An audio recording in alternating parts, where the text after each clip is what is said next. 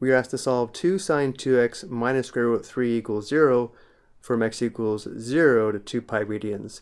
It is important to recognize this interval here is for the angle x, not the angle 2x. So we know that x is greater than or equal to 0 radians and less than 2 pi radians. Let's find the interval for the angle 2x by multiplying everything by 2. Well, 2 times 0 is still 0. We have 0 less than or equal to 2 times x is 2x, which is less than 2 times 2 pi, which is 4 pi. So when solving the equation for 2x, we have to solve from 0 to 4 pi radians. And because we have a double angle, we will also perform a substitution. We will let u equal 2x. If u is equal to 2x, we can write the original equation as 2 sine u minus square root 3 equals 0. And again, because u is equal to 2x, we will have to solve this in terms of u from 0 to 4 pi radians. We isolate sine u by adding square root 3 to both sides and then dividing by 2, which gives us sine u equals positive square root 3 divided by 2. On the unit circle, since sine theta equals y, we now find the point on the unit circle where the y coordinate is square root 3 divided by 2, and then find the angles from 0 to 4 pi radians. And we know y is positive in the first and second quadrants. So looking in the first quadrant, notice how this point on the unit circle has a y-coordinate of square root 3 divided by 2, which means anytime an angle is in standard position and the terminal side is here, the sine function value is square root 3 divided by 2. And we know the initial side is along the positive x-axis, and therefore the first angle is this angle here, which is 60 degrees, or in radians, pi over 3 radians, or if we want 1 third pi radians.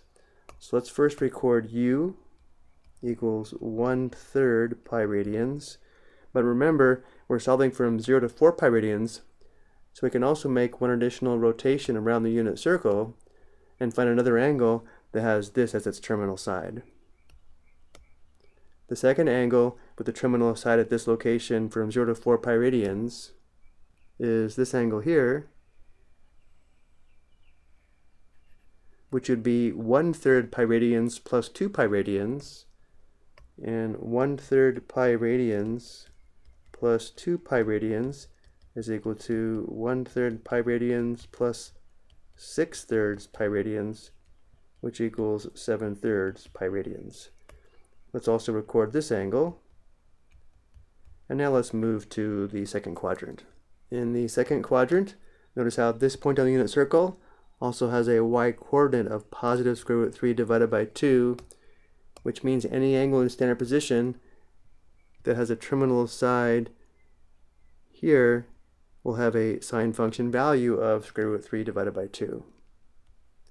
So the first angle is this angle here, which is 120 degrees, or in radians, 2 thirds pi radians. But again, because we are solving for u from 0 to 4 pi radians, we can also make an additional rotation around the unit circle, or revolution around the unit circle, which would give us this angle here, which is 2 thirds pi radians plus 2 pi radians, and 2 thirds pi radians plus 2 pi radians is the same as plus 6 thirds pi radians, which gives us 8 thirds pi radians.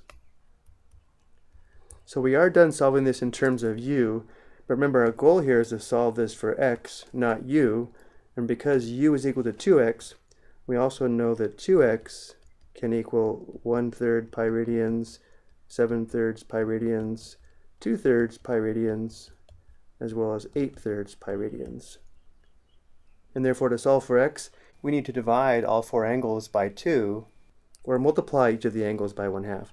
Again, if u equals 2x, if we divide both sides by 2, we can say x equals u divided by 2, or 1 half u. So now we need to find the solutions for x. Well, 1 half times 1 third pi is 1 sixth pi. 1 half times 7 thirds pi is 7 sixth pi and 1 half times 2 thirds pi is equal to 1 third pi. Let's go ahead and show that product. We have 1 half times 2 thirds pi. Before multiplying, notice how there's 1, 2, and 2 here and here, which does give us 1 third pi. And the last angle is 1 half times 8 thirds pi. Let's show that one as well. 1 half times 8 thirds pi. Notice the 2 and the 8 simplify. There's 1, 2, and 2, and 4 2s and 8, which gives us 4 thirds pi.